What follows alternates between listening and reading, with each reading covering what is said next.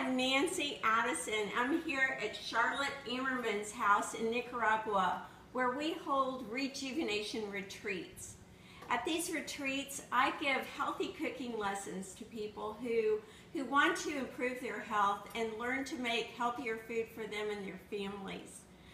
Today we've been learning how to sprout, and I'm making a sprouted whole grain organic rice for our dinner.